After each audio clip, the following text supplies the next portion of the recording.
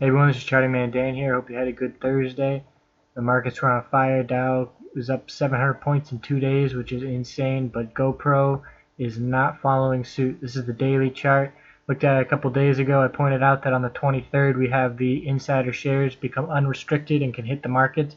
A lot of people are anticipating that insiders are going to take some profits and drive the price down further because these new shares will be freely trading. Uh, you can see today it had a nice gap open and a lot of times you see the gap and trap play where it gaps open and then pulls back and that's exactly what happened. Pulled back all day. Bears were in control on high volume increased volume. It's not a good sign. Um, you did see, start to see a bounce here with a couple higher low higher high days in a row but today absolutely squashed that with the bearish engulfing candle.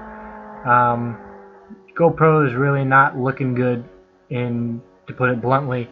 I wouldn't be looking at GoPro for a bounce until sometime in the new year, but I am keeping an eye on it because it is a hot name. It should, in terms of fundamentals, the company should sell a lot of cameras this season, and you know it, it's certainly going to survive as a stock. It's just a, question of finding the bottom, finding the point in time when the selling dries up and the buying starts to outweigh it. So uh, we'll be keeping my eye on GoPro for the next few weeks, and I will be sure to yell from the mountaintops once we start to see a reversal forming. So uh, thanks for watching. If you want to subscribe and send me any questions or requests you have, I would appreciate it.